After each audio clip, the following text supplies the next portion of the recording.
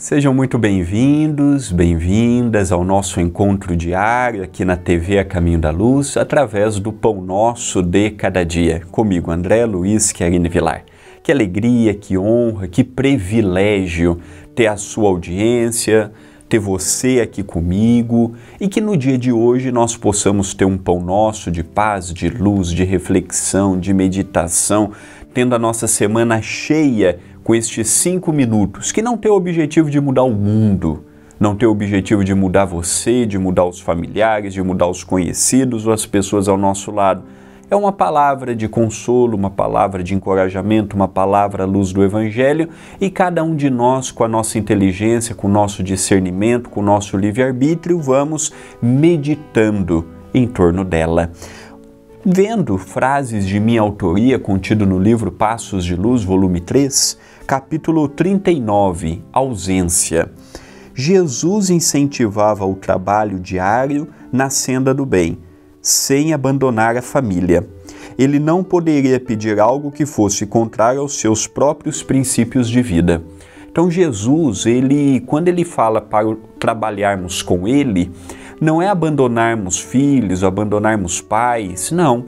Diga-se de passagem, hoje em dia se abandona menos os filhos pela religião do que pelo trabalho.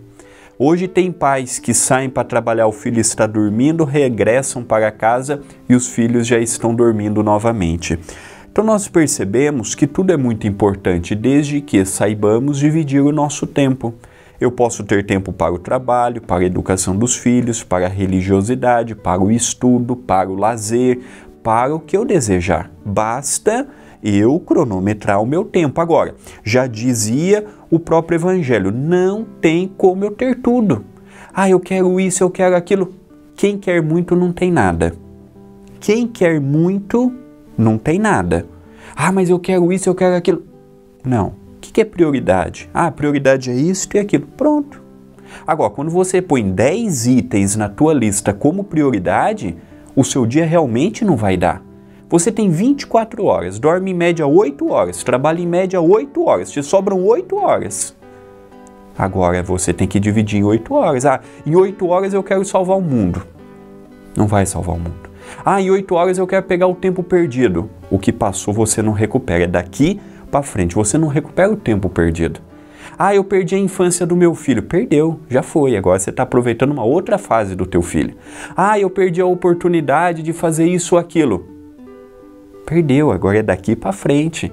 Então nós precisamos observar que a ausência do que se passou, esse vazio, ele vai continuar em nós. Ah, eu vou recuperar o tempo agora. Não. Você pode, a nível consciencial, procurar fazer diferente para não cair naquele mesmo buraco de outrora. Mas hoje, recuperar o tempo perdido não tem como. As pessoas são outras, os, o momento é outro, as circunstâncias da existência são variadas. Então, o que passou, ficou.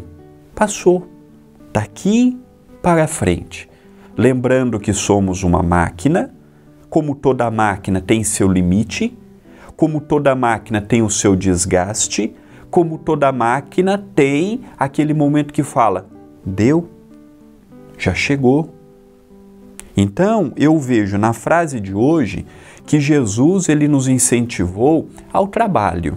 E a caridade ela pode estar conosco onde estivermos. Eu posso ser caridoso dentro do meu trabalho profissional eu posso ser caridoso no trânsito, eu posso ser caridoso na via pública, eu posso ser caridoso estando sozinho, elevando meu pensamento e rogando por uma pessoa que naquela semana se suicidou. Eu posso. Caridade, bondade, amor não se faz apenas numa, dentro de um templo religioso. Então Jesus pede para abandonarmos a família para seguirmos Ele? Não, nunca pediu. Família e religião têm que estar no mesmo patamar. Não é um mais importante do que o outro, é saber dividir o tempo. Como o trabalho é importantíssimo, trabalho é importante, família é importante, religiosidade é importante, não tem mais importante e menos importante. Tem coisas que são todas iguais. Só que quando eu dou preferência para uma e esqueço a outra, é o que eu tenho visto hoje. essa desigualdade, não financeira, não social, mas de sentimento, desigualdade das atribuições que me cabe, desigualdade das tarefas que me cabe. Então, é sempre bom acharmos o equilíbrio. Pensemos nisto, mas pensemos agora.